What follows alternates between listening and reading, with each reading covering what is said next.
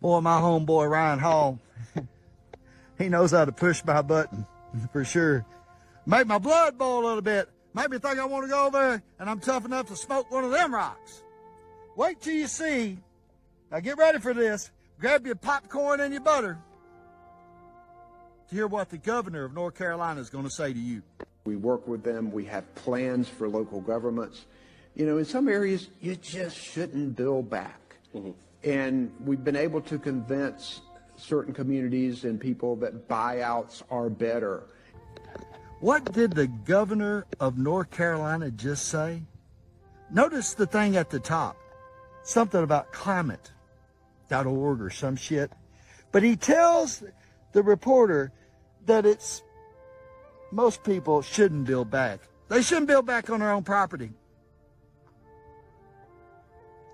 And we're trying to convince them, or we're going to convince them, it's much better for them to take the money. If that don't stink like high heaven, speculation now, sounds like to me that all the theories are coming true, right? That it might have been some type of manipulated weather control because Albemarle, who's owned by Vanguard and BlackRock, and Albemarle, who's also owned by Harris's vice president, husband, whatever, right? Might have a super interest in lithium. And the governor of North Carolina is trying to convince its people, ah, you shouldn't rebuild back on your property. You should take our deal.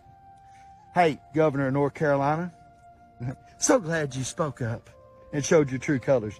Because me and American people would like to remind you to go fuck yourself sideways. Because that shit ain't happening on me, my watch, or Ryan's watch, or American Patriots watch. People will rebuild back on their fucking homelands and do what they want to do. Promise you that. Over our dead bodies. Bet that, motherfucker. Fluid English.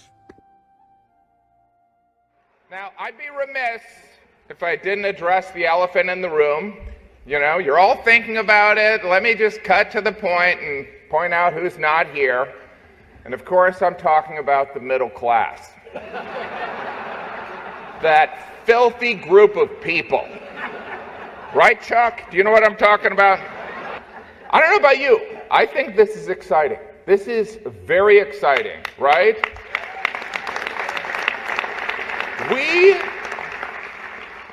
we are 19 days until the election and likely a civil war. and you know, I'm nervous. You know what I mean? It's like this is my first civil war, guys. We are 19 days until the election and likely a civil war.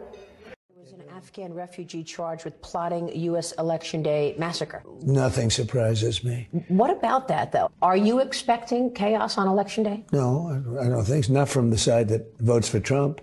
But I'm just wondering if these outside agitators will start up on election day. Let's say you win. I mean, let's not let's let's remember you've got 50,000 Chinese nationals in this country in the last couple of years. Yeah. You have got people on the terrorist watch list, 350 in the last couple of years. You've got uh, like you said 13,000 murderers and 15,000 rapists. Right. Um, what are you expecting? Joe Biden said he doesn't think it's going to be a peaceful election day. Well, he doesn't have any idea what's happening in all fairness. He spends most of his day sleeping. Uh, I think the bigger problem is the enemy from within, not even the people that have come in and destroying our country. By the way, totally destroying our country. The towns, the villages, they're being inundated. But I don't think they're the problem in terms of election day. I think the bigger problem are the people from within. We have some very bad people. We have some sick people, radical left lunatics. And I think they're the and, and it should be very easily handled by, if necessary, by National Guard, or if really necessary, by the military, uh, they, because they can't let that happen. You told me back in February that you were going to rent out Madison Square Garden for a rally. Yeah. And now you're going to do it at the end of October. Not only Madison Square Garden, we're taking uh, four or five arenas. We fill them up very fast. As you know, we took where the Islanders play in Long Island. We had, I guess, 22, 23,000 people, and we could have sold it out literally three times. We had thousands of people. We had tens of thousands of people that couldn't get in. We put screens on the outside of the building so they could see it. but that was incredible. And we just signed on Madison Square Garden.